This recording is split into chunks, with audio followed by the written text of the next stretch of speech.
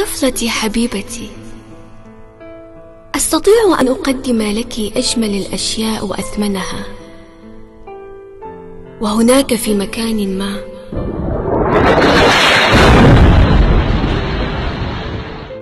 أطفال حرمتهم الظروف من أبسط وأسمى معاني العيش الكريم.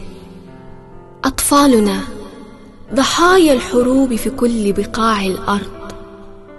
لكم منا كل الدعم فأنتم الأمل.